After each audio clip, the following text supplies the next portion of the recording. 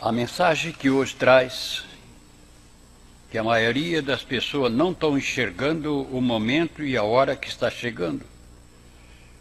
E essa santa querida ela diz: "Tua alma vive na luz". Hoje, 11 de dezembro de 2015, só não consegue enxergar a verdade. Esse que só vê tudo aquilo que vem pela frente as coisas do mundo. Se tal pessoa não vê, nada pode provar o que vem aparecendo. Ao contrário, são os poucos que vêm sendo escolhidos. Esse sim. Mesmo pouco que enxergam, recebe de Deus somente a luz, sabendo que a luz de Deus vem mostrando tudo. Foi assim da primeira vez, não foram todos que conseguiram ver Jesus como verdadeiro Filho de Deus. Por mais sagrado que seja o que vem acontecendo, não admitem que este seja o fim dos tempos. Por razão nenhuma podem esperar que este seja o fim. Sim, porque o diabo sabe como vem agindo, que quem tem olhos não consegue enxergar e ouvidos não consegue ouvir.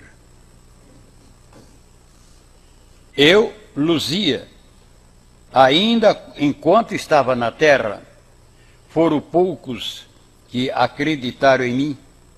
Sabiam que eu tinha meus dois olhos lindos que Deus me deu onde até um jovem queria que, que eu viesse a ser sua esposa, mas não podia me ter, porque já estava predestinada para ser uma pessoa a serviço do Senhor, nosso Pai e Salvador.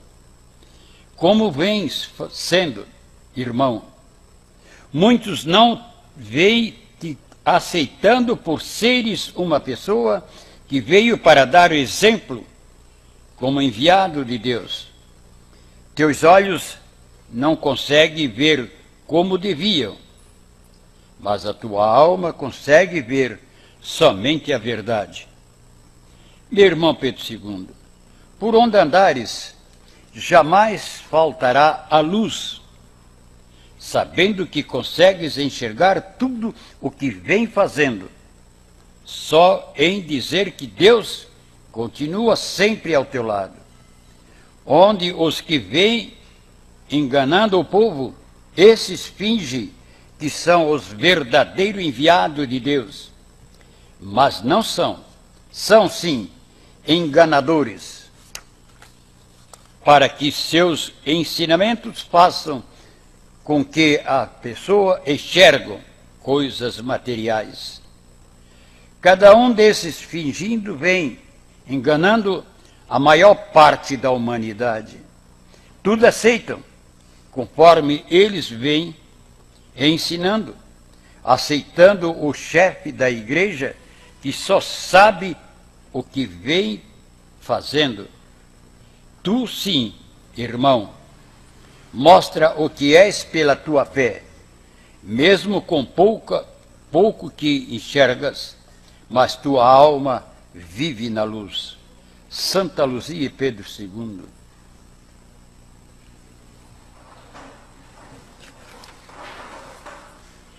A gente pode tirar uma base.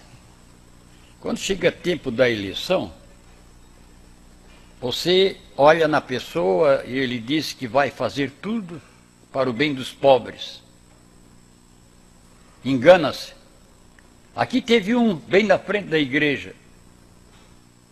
Se tu votar em mim que eu for candidato a vereador, essa dinheiro que tu paga pelo pelo pouco terreno que tens, eu vou mudar tudo. Se eu for eleito.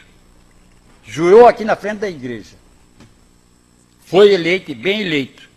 Aí depois ele disse: é, fui lá ver, é, tem que ser assim mesmo, não pode mudar.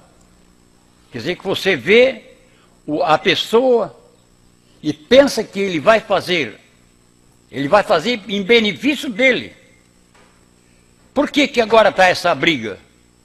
Porque ele só vê coisas do mundo, ele não vê o poder de Deus, ele não sabe nada de Deus. Só sabe é ter ganância, tirar de umas pobres. Como esses que dizem que são servidores de Cristo. Você já viu um desses? Além deles, que não são da Igreja Católica, dentro da Igreja Católica, fazer campanha para os pobres?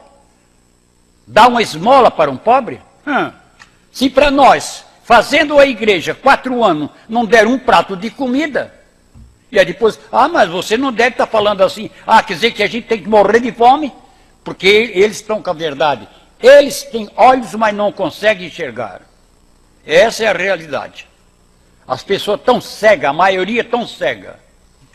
Porque quando essa nossa, do Brasil, que foi primeira vez eleita, começou tudo bem, mas as coisas começaram a piorar, piorar, piorar. Votaram outra vez, é a mesma coisa. Agora estão reclamando. Por quê? Porque só enxergam coisa da, da terra, não, eles não enxergam a luz de Deus. Eles não conseguem enxergar. E cada vez que vai passando os dias, os meses, vai se aproximando a vinda de Jesus, de Santa Luzia.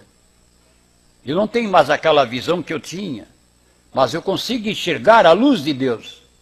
Eu vejo a verdade. Então eu me entrego de corpo e alma. Mas tem pessoa que não consegue ver isso, então tudo que tem pela frente ele quer. Ele quer. Não, descer de uma forma ou de outra eu quero tudo isso.